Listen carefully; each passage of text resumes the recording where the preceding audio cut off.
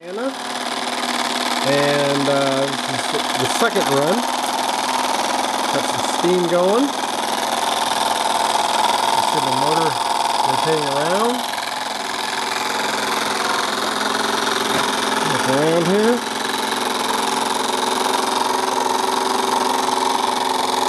I bought this boat in January and it's the end of August, so that's how long it's taken me. Kind of a neat little boat. 24 inches long. Noisy little bugger.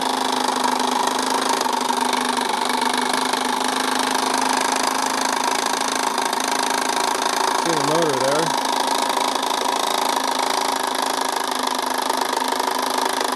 Steam coming out.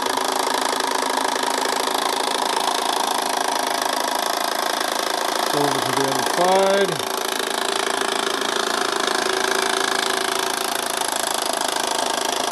Try to get a, see how long it'll run for.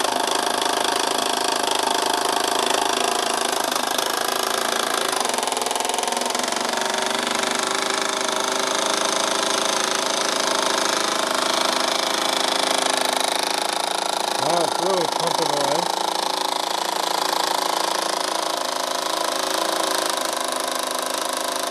Okay, that's all she's I'm gonna let her run. Here's the fantail and the Krick Anna side by side. Get an idea of um, how big these boats are. Um, Krick Anna is much, much larger.